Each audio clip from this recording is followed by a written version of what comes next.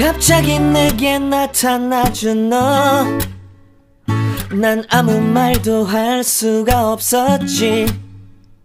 첫눈에 반한다는 이야기가 널 보는 순간 이해가 됐어. 매번 야야야야야 불러 널 야야야야 내 맘을 고백하려고 타이밍